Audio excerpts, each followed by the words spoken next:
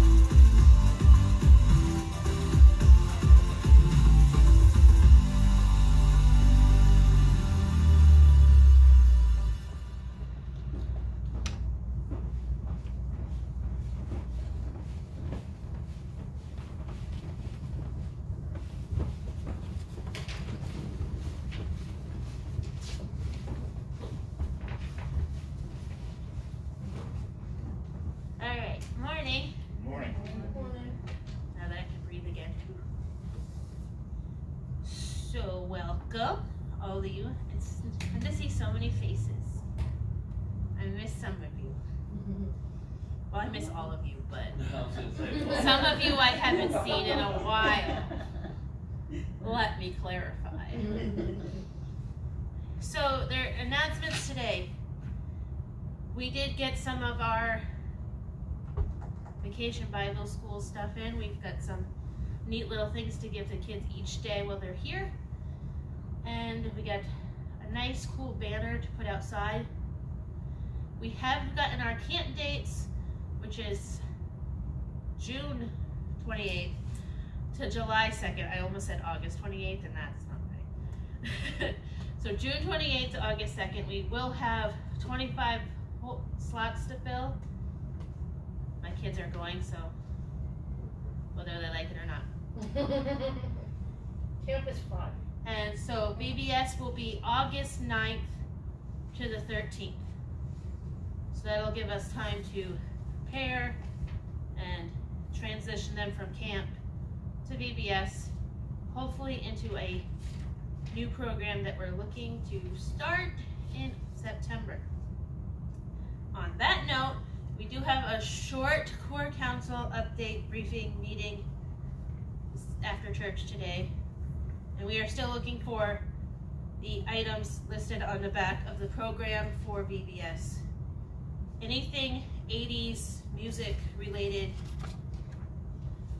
cassettes, VHSs, any old boom boxes, anything you can imagine that you just don't want around in your house anymore and wouldn't mind if it got painted a neon color, we will take off your hands. So next is the call to worship slash opening prayer this morning.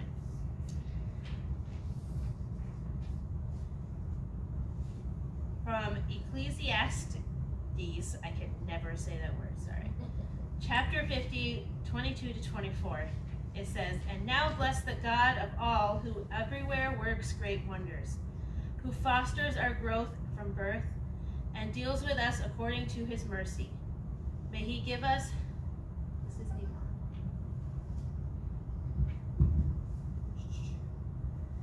May he give us gladness of heart, and may there be peace in our days in Israel, as in the days of old. May he entrust to us his mercy, and may he deliver us in our days. Let us pray. Lord, now we come into your worship, and now we are gathered as one. And now we turn our hearts, and now we bless the God of all, who everywhere works great wonders. Great God, we have long we long for your deliverance from your, the world's sorrows and troubles. In your mercy, give us gladness and peace. Amen.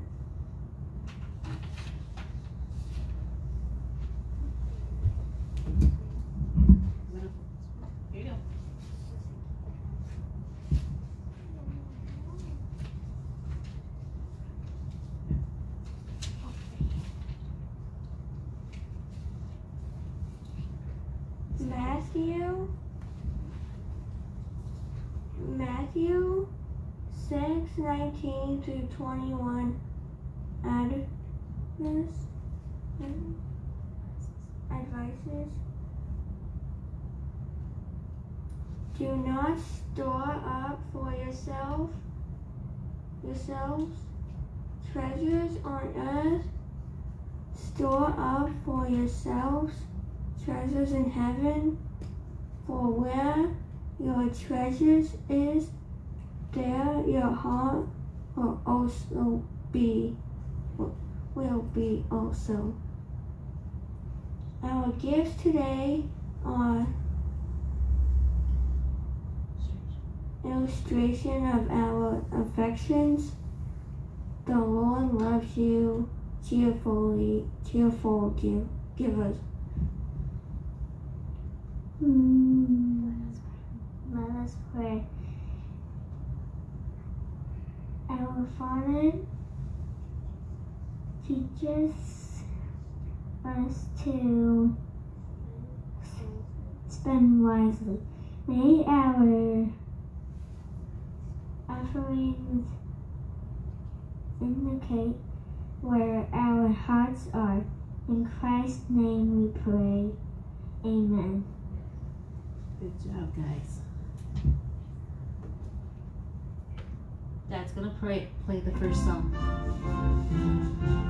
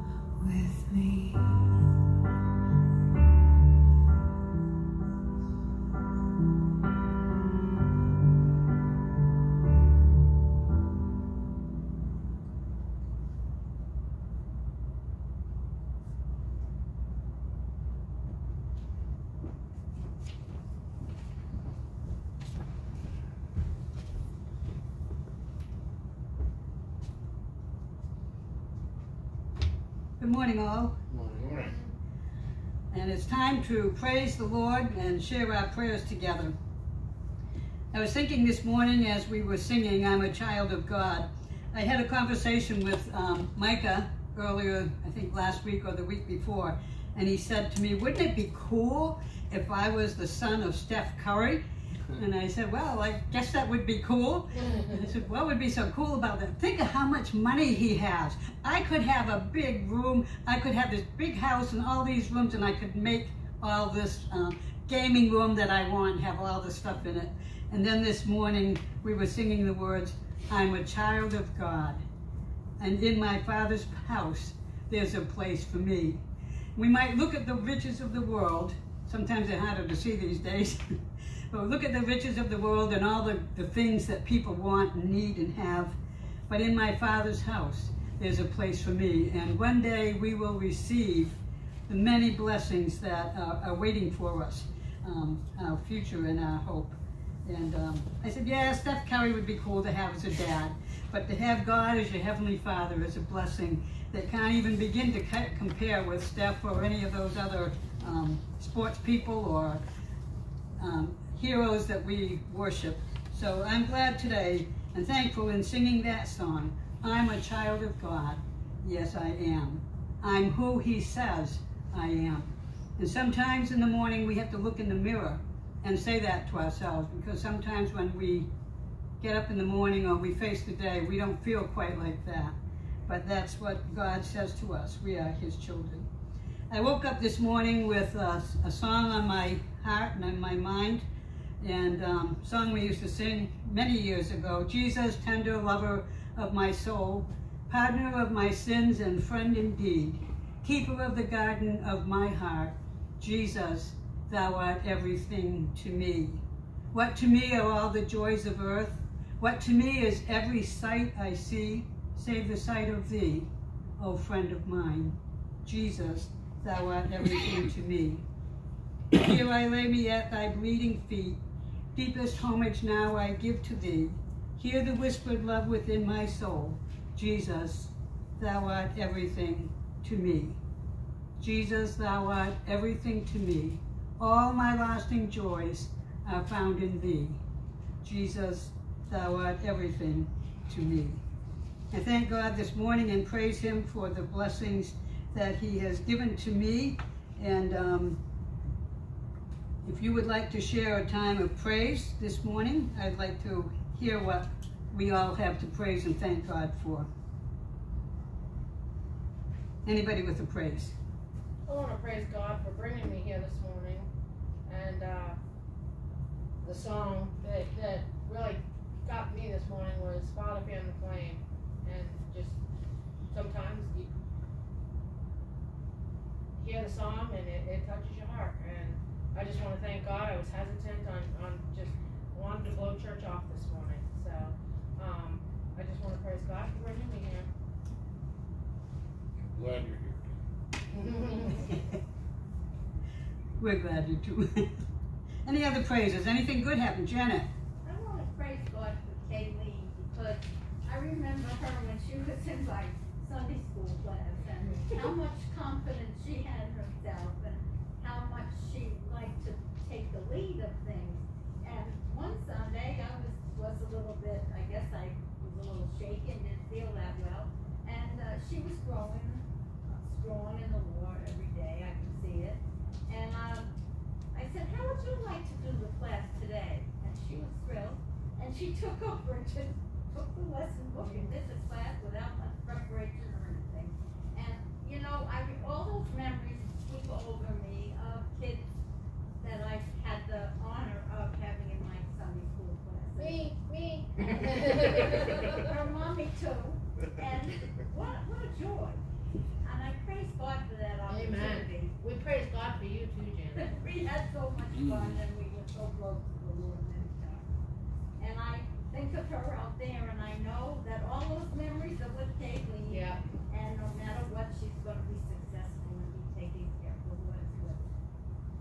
Taking care of her for her. It's been good. I praise God for our snowstorm this week. Woo! It was great, wasn't it? I- Threatening us with five to eight No inches of snow, and by the time we went out, oh, nothing left. That was great. No So, complaints. no complaints. So praising God for that.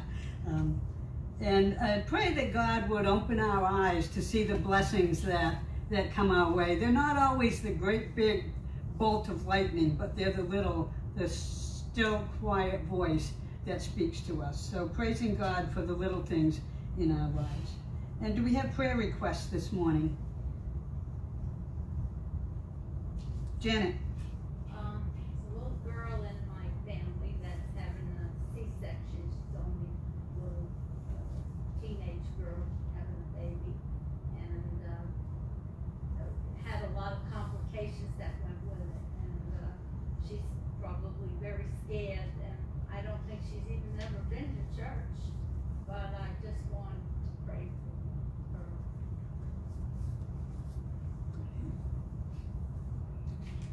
Sweet little having a baby boy. Last week, we, um, in our prayer time, we, uh, talked about encouraging one another and, um, engaging. Last week was engaging. And the territorial commander has set a vision for this year and, um, to, that the Salvation Army of the Eastern Territory would come together in one accord. And so each week leading up to Pentecost, there's another, um, topic that we're praying about. Last week it was engaging. And I hope that you thought about that last week and that you were able to, that we were able to engage somebody um, in conversation, in fellowship, and um, maybe in witnessing to them. And today the thought is um, on encouraging and territorial vision. Oops, I'm looking at the sermon here instead of my paper. I won't take it away. Encouraging. Um, together we envision an army encouraged by a common purpose, helping one another to show love and do good, fostering a generous, generous and inclusive culture of reconciliation and mutual respect. And the scripture verse is, let us consider how we can stir up one another to love. Let us help one another to do good works. Let us encourage one another with words of hope. Challenges for us as the Salvation Army in the Eastern Territory. And this week, um, we have a prayer that they'll be using throughout the territory. And if you look at the prayer, I think everybody got a copy. And we'll um, pray together. You'll see indicated on there who is to speak that paragraph. So, men, would you begin, please? Heavenly Heavenly Father, Father, everything that is true, noble, right, pure, and holy is from you. You have given us hope and a future. We live in confident hope that you continue to work in and through us. Give us sensitivity to the needs of others, to come alongside those in need, not with all the advice and answers, but as a companion to stand in the gap in your name without counting the cost. Help us to be agents of your reconciliation. May we live a life of sincere gentleness and kindness to all we come in contact with, so that they may feel your welcoming embrace and find a seat at your banquet table and know what it means to be lived abundantly. Thank you for us, not for our betterment alone, but also to pour into others. May we be channels of love through inclusiveness that only comes through Jesus Christ our Lord. Amen. And then it asks us to think about, uh, to spend some time thanking God for those who have encouraged you in your work of faith. And we had that already this morning. And um, it's important to look about and recognize that there are people who encourage us and that we also should be encouragers, encouragers. And um, they ask the question, to whom can you be an encourager today? And make that our prayer. Let's pray together. Father God, this morning we thank you for your presence in our lives. We thank you because um, each and every day we need to be reminded that we are a child of yours, that we belong to you, and that we are who you say we are. Sometimes the world beats us up and sometimes it knocks us down, but we are a child of God and we are who you say we are. We thank you for those people that have been put in our lives through the years who have encouraged us and come alongside of us and stood stood by us when it was difficult for us to stand by ourselves. And we pray, Lord, that you would open our eyes today and each day to see who it is that we can be an encourager to, who we can lift up, who we can come alongside and help to stand and rise above the circumstances. We thank you, Lord, for the praises that we had this past week and for the um, blessings that you have given to us. And we pray for those who have been mentioned um, in this morning in prayer requests. We pray that you would come along each along each side of them. For the people that we didn't mention by names who are heavy on our hearts this morning, we just, Lord, lift them up to you. We bring them into your presence. We pray that you would open our eyes so that we can see, can we be a part of the prayers that go up? Can we be an answer to their needs? We pray that as we continue to worship you today, that you might help us to see your, your love, that you might speak to us, that we might become the person who you choose us to be. We pray that you bless us as we continue in worship. In Jesus' name, amen. Is well.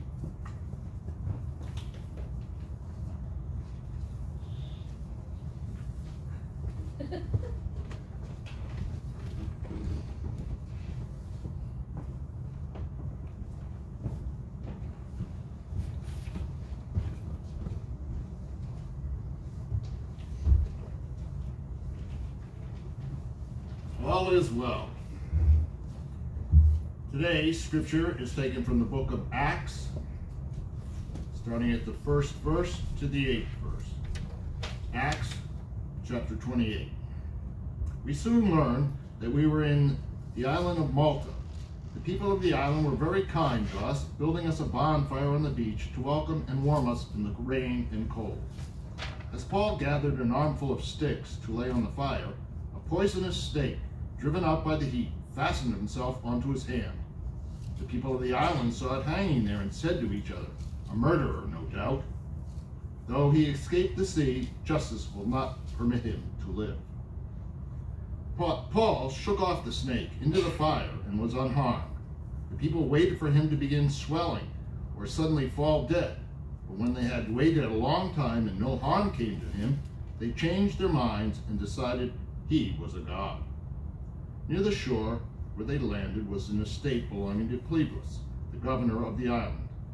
He welcomed us courteously and found and fed us for three days. As it happened, Publius' father was ill with fever and dysentery. Paul went in and prayed for him, and laying his hands on him, healed him. May the Lord add his blessing.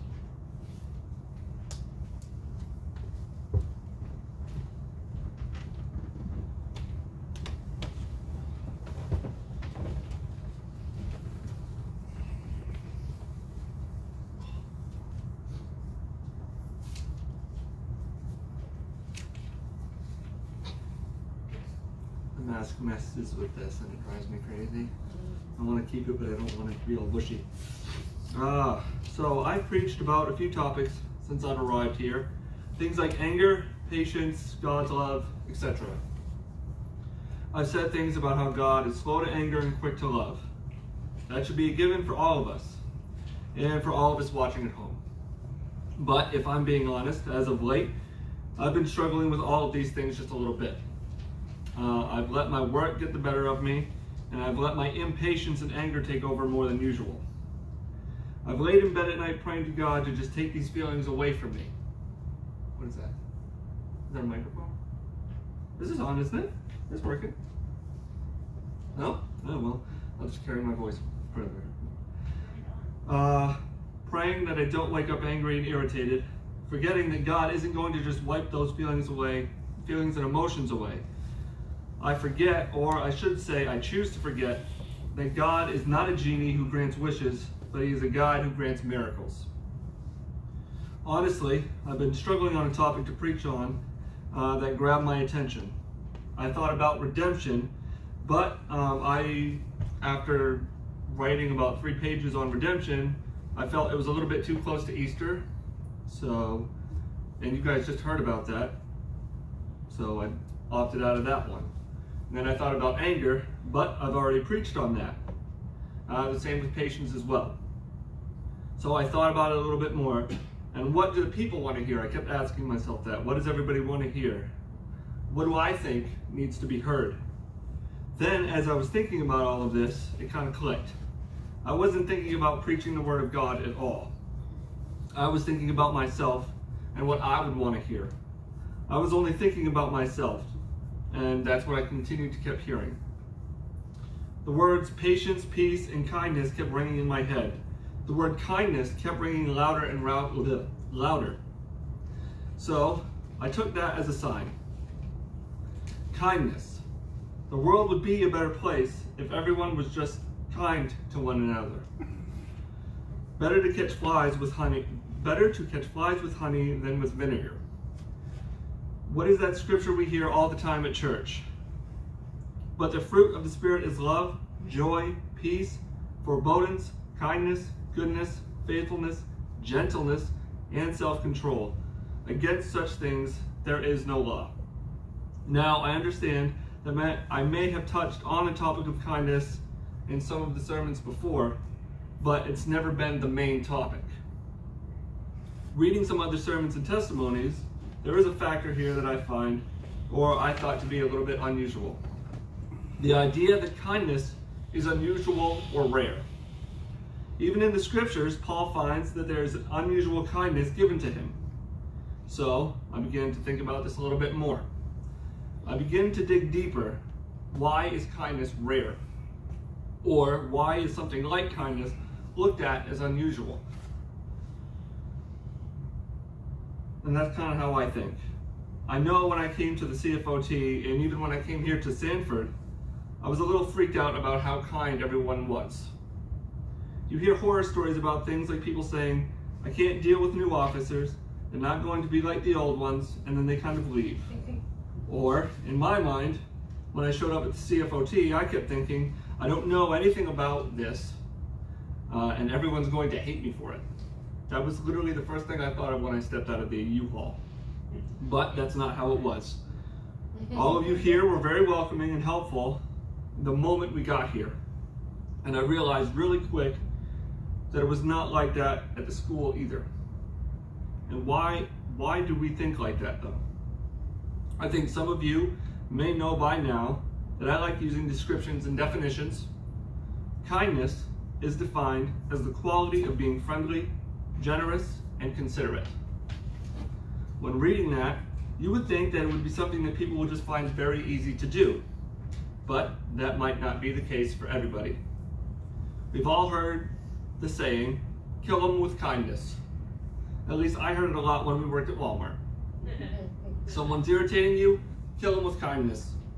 But now that, I'm, now that I am not there anymore, and I don't relish killing anybody, I want to change that saying for myself by saying, bless them with kindness. Isn't that what Jesus did for everyone he came into contact with? He was honest with people, which would make him, in my eyes, considerate. Yes, even in the temple, when he flipped the table and told people what they were doing wrong and why, he was honest, but they challenged him a bit more. In scripture, it says, Jesus entered the temple courts and drove out all who were buying and selling there. He overturned the tables of money changers and, be- and benches of those selling doves. It is written, he said to them, My house will be called a house of prayer, but you are making it a den of robbers. The blind and the lame came to him in a temple and healed them. But when the chief priests and teachers of the law saw wonderful thing, the wonderful things he did, and the children shouting in the temple courts, Hosanna to the Son of David, they were indignant. Do you hear what those children are saying? They asked him. Yes, replied Jesus. Have you never read, From the lips of children and infants, you, Lord, have called forth your praise? He tells them that the children are praising the Lord. He's being honest, and he's not and not even in a brutal way, at least to me, but in a teaching way. That shows kindness, especially in an unusual circumstance. I think as parents, we too show kindness to our children all the time, even in, an un, even in unusual times. You could be in a bad mood or your kids are just not listening to you. How could you handle that? You could go with what might be your first reaction and snap, or you could be like Jesus and be patient and kind. For example, every morning around 5.30, to get the kids ready for school, I wake them up around 6. I'm usually up by around 5, but I start waking them up between 5.30 and 6 o'clock. And then I tell them to get dressed, get something to eat, and make sure you're ready for school. Do they do this 100% of the time? No. now how could I handle this? Well, even better, I will tell you how I've handled this. Sean, I don't normally have a problem with. I wake him up, tell him it's time to get ready for school, and he slowly gets going. Usually he kind of crawls out of bed and he's taking forever, but he does get going. Bella, on the other hand, she doesn't want to get up and she never has anything to wear. So I have a bit of a harder time with her. Now there are days where I'm patient, or I should say moments where I'm patient. 6.30, I'm patient and I tell her to get up and get dressed. Then if I check on her at 7 and she's still not ready, I've been known to go one of two ways. I have gone that impatient and irritated route, and I've gone the kinder route. I will say I do get results for both, but the anger route is never one that I'm happy with. The anger and impatient route are ones where it may fix the problem in the moment, but it's only for that moment. But does being angry, impatient, and unkind truly fix a problem? The short and blunt answer is no, it doesn't. So, if it's better to be kind and makes life easier in the long run to be kind, why is it that there are times when kindness just doesn't seem to happen? Why is it that sometimes we feel like kindness cannot be a factor? While writing this sermon, I have to be honest and say that I had a hard time not pointing blame. Not pointing blame to sin and nature and even other people. I had a hard time with that. Why is it so hard for us to be kind? Why is it so hard? Why do we even have to be kind? As Christians, the answer should simply be put because God. That's it. Because God. I could try and find some fluffy and fancy answer, but the answer is and should be simple. Because being kind does not mean to be nice does not just mean to be nice to each other. It means to be patient as God is with us. It means to be forgiving as God is with us. It means to show compassion as God does with us. To be kind, we have to remember, and this is a little bit of a side note, we need to be kind with ourselves too, not just with others. How can we expect to show compassion, forgiveness, and patience to others if we're not willing to do that with ourselves? God doesn't want us to beat ourselves up. Sometimes the people we are hardest on is ourselves. The people we are the unkindness with is ourselves. Would you, as a Christian, say to another person that you're not good enough? Would you, as a Christian, as an honest Christian, turn away unloving to someone in need? Would you turn away and be unforgiving to yourself? But there are some that do that to themselves all the time. We have to be patient with ourselves. We have to be forgiving with ourselves. We have to show compassion to ourselves if we're going to do that with others. Again, that was just a side note. In Ephesians 4:32 it says, "Be kind and compassionate to one another, forgiving each other just as in Christ God forgave you."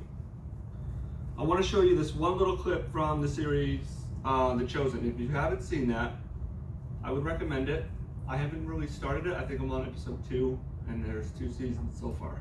But um, before it starts, if you haven't seen it and you'd like to see it, It is an app you can download on your phone, and they do have it on Peacock if you have that app too.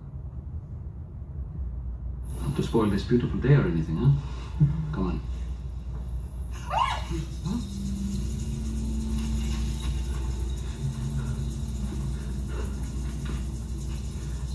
Mr. Leopard, stay back.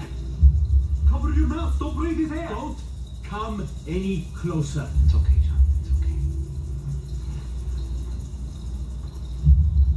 Rabbi, Rabbi, I need to handle his disease. You...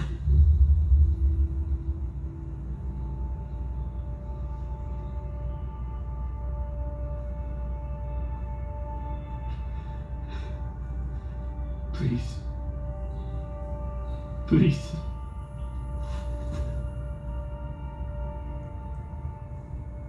Please don't turn away from me.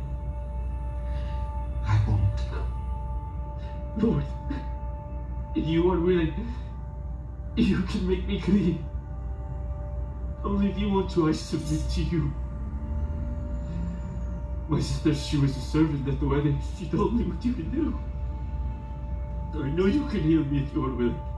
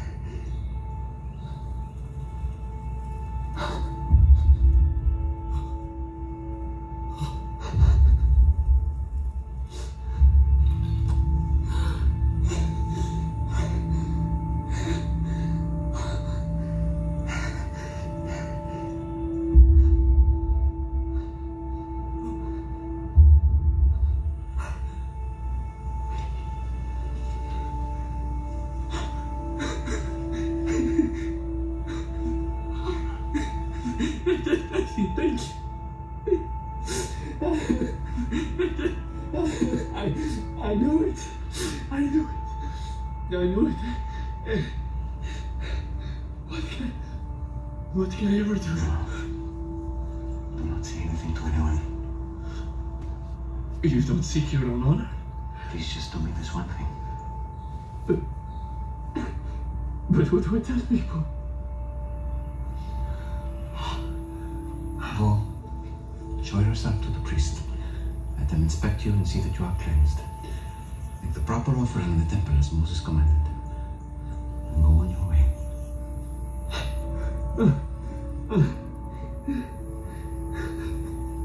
Where's an extra tunic? Just one of you, just one of you. That's enough.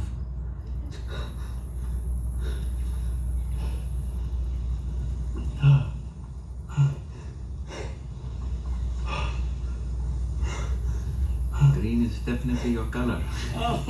Not too shabby.